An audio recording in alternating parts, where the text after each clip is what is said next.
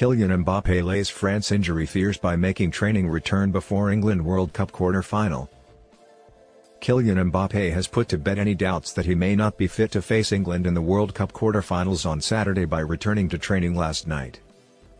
Mbappe had sparked speculation that he was struggling for fitness after he missed a session on Tuesday afternoon.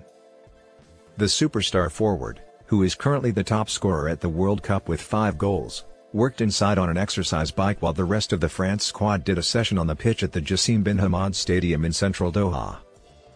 France have cooled talk that Mbappe was not fit and he dispelled any lingering doubts by training yesterday evening.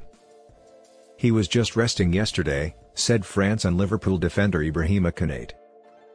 He had a different kind of training session to do. There was nothing worrying about that. Nothing surprising either.